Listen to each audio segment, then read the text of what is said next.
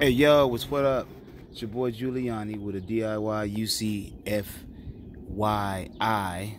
You know what it is. Hey, uh, I'm dropping it about this RV troubleshooting. Now, when I turned on my RV today, because it's hot, it had a humming.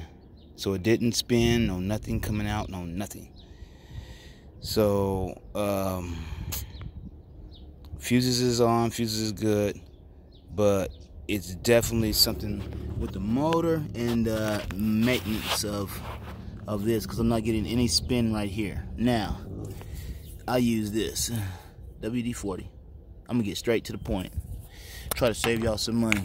Sometimes it might be your capacitor, but then sometimes it just might be stuff like this. So I'm already getting. Oh, okay. I'm already getting I'm already getting a way better spin just like that. And You can see all that dirt coming out of there. I think this might be it. Because now I'm getting some really good spin. And yeah, I just hit it a couple times with this. I'm going to show y'all live what it does. I'm going to go down here inside the RV.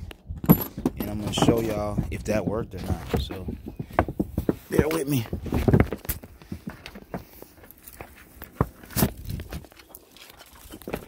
Woo.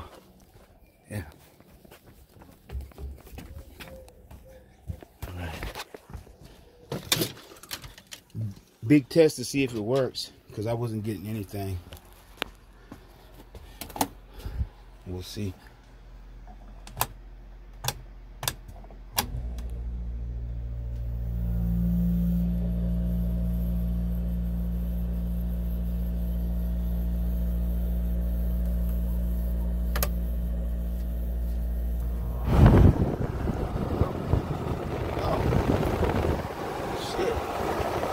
Y'all just see that light.